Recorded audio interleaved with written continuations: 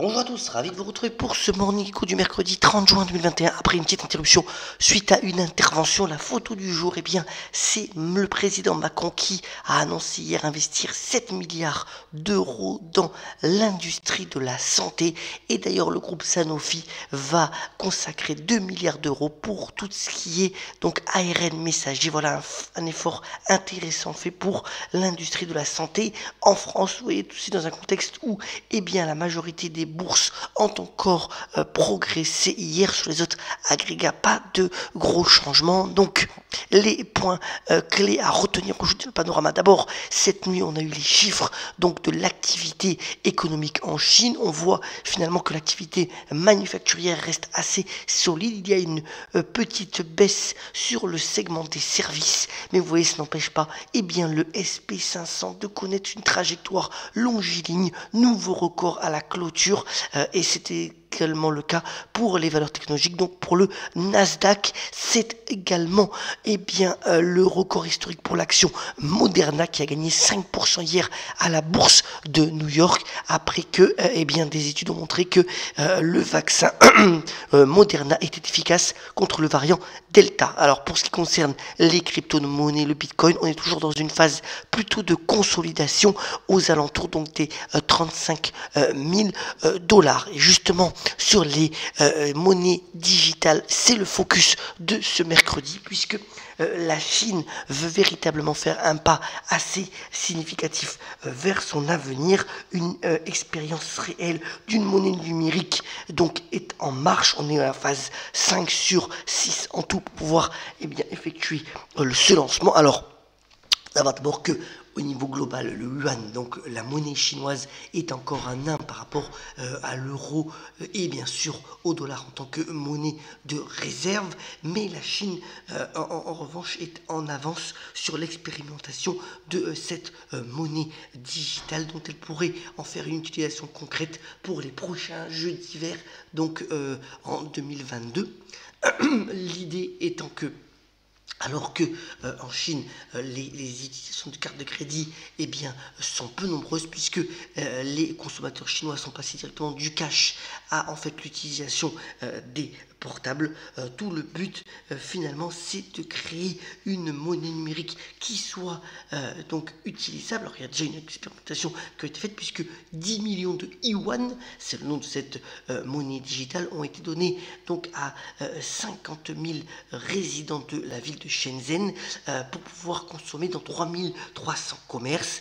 Et finalement toute cette expérimentation a été finalement bien utilisée. L'autre but aussi bien entendu, c'est de casser le duopole euh, donc entre Alipay et WeChat, qui sont les deux applications permettant de payer avec euh, son téléphone mobile. Les banques commerciales vont être associées.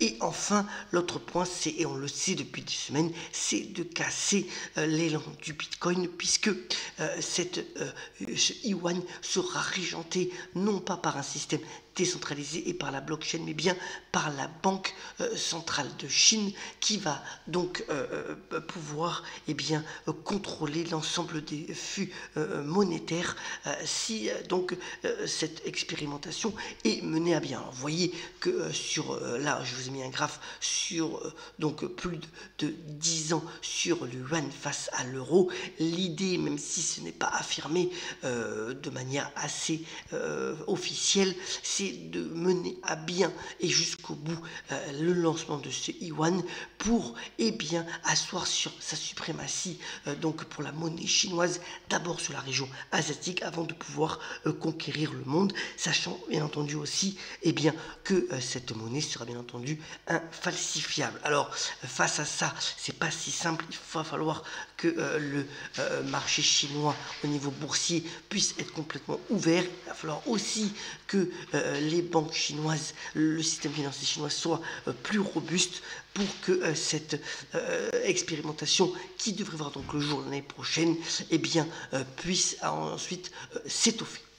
Alors, c'est mercredi, comme d'habitude, je vous ai mis euh, parmi les sorties du jour deux films. Alors, on peut passer à côté de cette comédie euh, politique euh, qui met en scène le sosie de François Hollande et Jean Dujardin dans le rôle de Nicolas Sarkozy. Alors, face à la montée, l'histoire c'est que face à la montée de Marine Le Pen, eh bien, ces deux ex-présidents s'associent pour pouvoir finalement gagner l'élection présidentielle. Alors, c'est une comédie très loufoque, nouvelle prestation assez réussie la réalisatrice Anne Fontaine. Et puis un beau film là aussi de deux frères, Ludovic et euh, Zoran euh, Boukerma. Ça s'appelle donc Teddy. Alors c'est l'histoire d'un jeune homme malheureusement un peu paumé qui est griffé euh, par un loup et qui sent des sensations particulières. Là aussi une belle comédie pour pouvoir passer un bon moment. Et d'ailleurs ce film Teddy est dans la sélection officielle donc du festival de, de Cannes qui commence, je vous le rappelle, la semaine prochaine. Terminons ce morning en vous souhaitant une très bonne journée et par la citation du jour, elle nous vient de Francis Blanche qui a notamment déclaré Il a un côté sympathique, seulement on le voit toujours de face.